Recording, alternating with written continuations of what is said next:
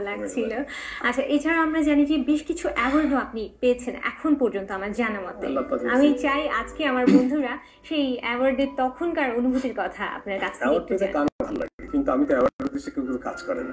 যখন two thousand five নাগাদ একটা জরিপ হলো ডেলি স্টার থেকে জানলেন যে আমি টু থাউজেন্ড ফাইভ নাগাদ আমি সোলো আমার একক তিন হাজার গজল ছন্দ হয়ে গেছে। তখন আলিয়াস ফাসিস ওনারা আমাকে একটা গজল পার্সোনালিটি অ্যাওয়ার্ড দিলেন।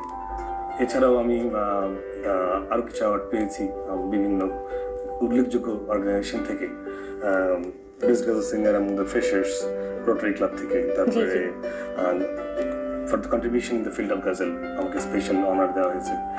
তো এরকম আমি পেয়েছি আমার আম্মার অ্যাওয়ার্ডটা বেশি মজার নারীগ্রন্থ প্রবর্তনের থেকে আমার আম্মাকে রক্তগল্প অ্যাওয়ার্ড দিয়েছে।